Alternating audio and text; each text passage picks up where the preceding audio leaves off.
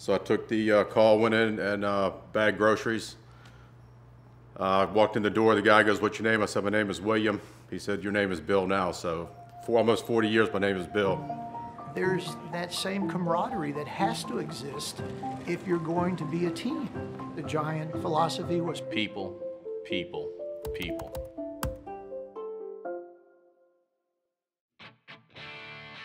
Hello, my name is Bill Randall. I'm a store manager for Giant Food in Falls Church, Virginia. Started about 18 years old. I was looking for a career and uh, be 40 years in September. Yes, I was born and raised in a small town in Virginia called Hartwood. Um, when I went to school, there was six people on the bus. It was a very fun place. I had a great life in the woods and creeks, and I remember just having feathered hair, really thick and long. You know, you had to get the stereo system. Music was huge. People wouldn't understand of today the times in the music stores. That was your life in the 80s. Uh, cassettes, Judas Priest would probably, or ACDC Back in Black at the time. They were my first two groups. So uh, my dad taught me very young, if you wanted something, you went out and worked for it. I saw my father, he worked six days a week. He took on any job he could get, and I, uh, I still don't want to talk about my dad. Now you're gonna be crying. But anyway, he died when I was 29, so he um he was a hard-working man. I remember being at my father's funeral and people coming up to me and tell me how proud my dad was of what I had accomplished at such a young age.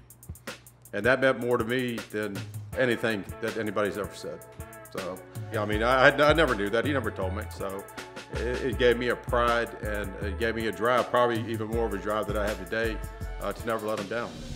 Store manager of the future right here. How you doing? My claim to fame is, is the management style is I let people run their stuff and, and learn. I mean, yes, I'm actually, I'm a, I'm, a, I'm a very, I'm an aggressive, tough person, tough love person, yes. But I'm, i have more feelings that you can see, but uh, I'm, a, I'm a teacher. Um, I take chances on people. I enjoy watching people succeed. I guess from having no kids, maybe that's my thing to life, but my goal in life is to give anybody an opportunity. And so I uh, won the award a couple years ago for people development from Giant Food because that's what I do. I believe I was offered a career at a young age from Giant, and that's what I do. I'm a mentor to many people, I'm a trainer, and I'm a friend. I, I like watching young leaders uh, develop. My only thing is when I talk to people that are young leaders is when they become my boss, never forget me. That's the only thing that I tell anybody.